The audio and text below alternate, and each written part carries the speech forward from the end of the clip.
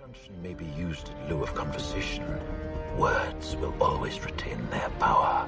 Words offer the means to meaning, and for those who will listen, the enunciation of truth. And the truth is, there is something terribly wrong with this country, isn't there? The Mr. Fuddlestick snowball continues to roll uphill and continues to grow as it sweeps out a wake of devastation through the heart of Renton's political machinery. The latest addition to the carnage is Renton Mayor Denis Law. The question has been raised as to whether he is responsible in the end for allowing the witch hunt for Mr. Fuddlesticks to continue, absent his strenuous objection. Did Mayor Denis Law actually have responsibility? On the one hand, I have to ask whether the mayor actually has direct control and therefore responsibility over either the police chief or the prosecutor. I believe the answer lies in just one place, which is duty. Mayor Law swore an oath to uphold the law and the interests of the townsfolk. The protection of the constitutional rights of the people of Renton is one of the paramount interests upon which he might be compelled to speak. As mayor, he is the steward of the public trust, and he may be called upon to champion the causes of that trust.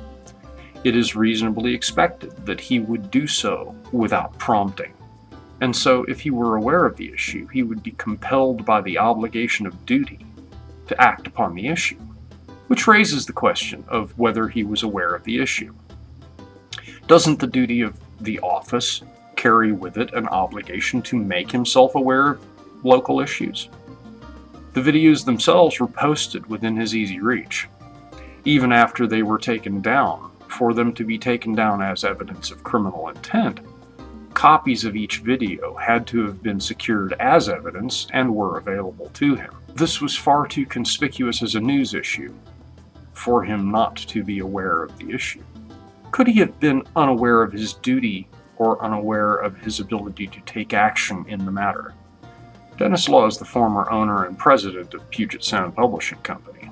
He can be assumed, therefore, to be fluent both in the power of the word and the rights associated with the First Amendment.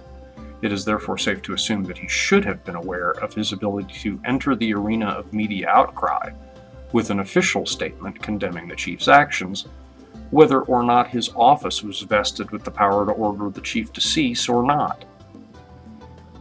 In order to believe that he didn't act based on ignorance of the case, one would either have to assume that he was illiterate, or that he had abdicated the duty to make himself aware of the local news generally, and the case specifically.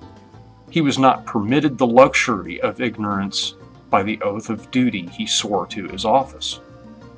Since his former position as owner and president of his own publishing house implies that he should have had ample knowledge of his power to speak, and as he was duty bound to speak by his oath, then I can only conclude that his silence is willful, and that his obligation to his duty to defend the interests of the people he swore to serve is derelict.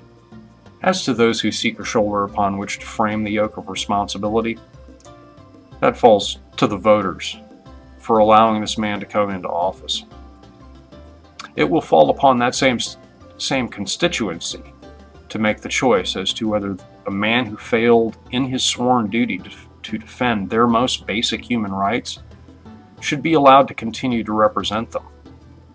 If the voters in Renton don't feel that the choices they were offered at the poll were sufficient, then it falls to the people to find among their own number someone of character to represent them.